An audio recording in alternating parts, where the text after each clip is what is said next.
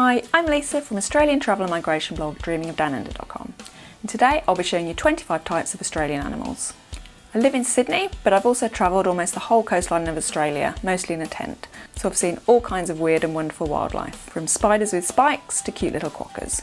If you'd like to read my blog post on this, I'll leave the link below. It contains links to all the best Australian wildlife sanctuaries, sea life centres and snorkelling and diving experiences. Here's 25 types of Australian wildlife. I'll start with the marsupials. So Australia has over 200 types of marsupial. Marsupials are a group of mammals that give birth prematurely. The newborn animal carries on developing outside of the mother's body, usually inside a pouch. The most well-known marsupial in Australia has got to be the kangaroo. And there are so many of these you're almost guaranteed to see one as long as you leave the cities in Australia. Kangaroos are the largest marsupial in the world and the largest type is the red kangaroo which can grow up to 2 metres high and weigh up to 90 kilograms. Some kangaroos can hop 8 metres at a time and reach a speed of 60 kilometres per hour. They can also swim and use their forepaws to drown predators. The wallaby is very similar looking to a kangaroo but they're much smaller and they're quite cute as well. They usually only weigh up to about 20 kilograms and reach a maximum of a metre in height. They've got shorter legs than a kangaroo and they're built for moving across forest floors or rocks rather than across open plains. Koalas are another type of well-known marsupial in Australia. They're not actually bears. They live up eucalyptus trees rather than on the ground and since eucalyptus leaves are toxic, which is what they eat, koalas have very little energy and they sleep between 18 to 22 hours per day. Quokkas are a small type of wallaby that have short hind legs and they live off plants, grass and leaves. They can also dig holes to find water. They're a very cute native animal in Australia. If you go to Perth, you should take a day trip to Rottnest Island because there's absolutely loads there. Wombats are a large, chunky type of marsupial. They dig out tunnel and chamber burrows with their claws. Like koalas, they're not that easy to spot in Australia unless you visit a zoo or a wildlife sanctuary. Possums are nocturnal marsupials that live in trees. There's quite a lot of different types of possum in Australia, but the brush-tail possum is quite easy to spot in urban areas. Moving on to sea life, Australia has a huge amount of marine life and it's really popular to go on scuba diving or snorkeling trips in Australia. Here are some of the larger marine animals that you might see in Australia. Little penguins are the smallest type of penguin in the world. They're only around 33 centimetres tall and weigh about a kilogram. They usually live along the southern coastline of Australia, which is the cooler part. You can also find them in New Zealand. If you want a guaranteed sighting, you can go to Phillip Island, which is near Melbourne, and buy a ticket for the penguin show that's on every evening. Sharks are a well-known marine animal in Australia. There's over 170 different species of shark that live around the coastline of Australia. Some of them are dangerous, some of them aren't, like the grey nurse shark, which is usually quite placid. You can go on shark diving experiences in aquariums in Australia or in cages in the ocean.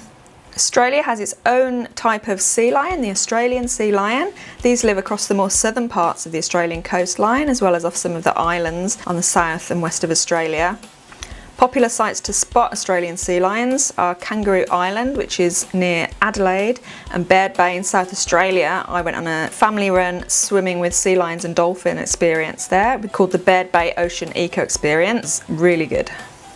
I was surprised to find that dolphins are really a common sight in Australia. So the first time I saw them was when I was in Perth and they were just swimming along the Swan River right by the city. I've also seen them in Sydney in the ocean and Byron Bay and quite a lot of spots along the coastline. The bird life in Australia is very different to the UK. They've got a lot of big birds, very colourful birds, very noisy birds. Here are some of the types of Australian birds that you can expect to see here. Australia has over 50 species of parrot. They're very colourful, very beautiful. You will almost definitely see at least a lorikeet when you're in Australia. Cockatoos are also a type of parrot that are common in Australia, so you'll see a lot of sulphur crested cockatoos, which are the white ones. They're very, very noisy and quite common in suburban areas. The Carnaby's black cockatoo is harder to spot, these are endangered, but you can still see them sometimes when you're outside of the cities. The kookaburra is the largest member of the kingfisher family. These grow up to 18 inches in length. They're native to the eucalyptus forests in eastern Australia, but you can see them across suburban areas as well. They're known for the laughing sound they make. They're particularly noisy around sunrise and sunset. They can be quite cheeky. I had one trying to steal my sandwich once. The ibis is a big white bird. They tend to rummage around bins. They've been nicknamed bin chickens or tip turkeys. Australia is also home to emus, which is one of the largest birds in the world. They can grow between 1.6 metres and 1.9 metres high. They can't fly, and once the female has laid her eggs, she leaves the male to incubate them and care for them once they're hatched. The cassowary is slightly shorter than an emu, but can weigh up to 76 kilograms, so these are the heaviest bird in Australia. It's a type of ratite bird and it's got dense black feathers that allow the bird to camouflage itself in the rainforest. They tend to live around swamps and rainforests and mangrove areas. They're generally timid but they have been known to attack humans. Their claws are up to 12 centimetres long. One of the more feared types of animals in Australia are the reptiles. Australia has around 14% of the world's reptile population. Here are a few types that you might see. Australia has freshwater crocodiles and saltwater or estuarine crocodiles. They're more prevalent in the hotter northern parts of Australia like Queensland and the Northern Territory. You definitely won't see one walking down the street in Sydney. Lizards are very common in Australia. Sometimes you'll spot the larger, more unusual types like goannas. Also the blue tongue lizards are quite common in Western Australia. I saw a lot of those around Perth. You see a lot of water dragons in Sydney as well and along the eastern parts of Australia. So it's well known that Australia has snakes and quite a lot of them are poisonous. I haven't seen as many as you would expect considering I've travelled almost the whole coastline of Australia but I did see a lot when I was in Tasmania. Sometimes on one walk I would see about four snakes. They also have tiger snakes there which are very venomous. Australia is also well known for its insects, mostly for having poisonous insects, but they've also got some really, really strange looking and beautiful insects as well. Here's a few. Jewel bugs are very unusual looking. I just happened to walk past a tree in an urban area in Sydney once and they were all over it and they're really, really bright coloured. Very, very pretty. I've also seen quite a few centipedes in Australia. This picture is one that used to just hang out in the toilet block at a campsite I stayed at on my Perth to Adelaide road trip. Australia has giant grasshoppers that can grow up to 9 centimetres long. This is a picture of one that was just hanging out on my car roof at a campsite. There are over 10,000 different species of caterpillars in Australia. I've seen quite a lot of them on hikes in national parks. The hairy ones are quite common. If you move to Australia and bring your dog with you, you really need to learn about paralysis ticks. This is a deadly species of tick on the east coast of Australia. They tend to be very active in the summer in Sydney and their saliva can be fatal to dogs so they really need to have preventative treatment if you're living over here. Bull ants are something that I saw quite a lot when I was travelling the Nullarbor in Australia. They can grow up to four centimetres long.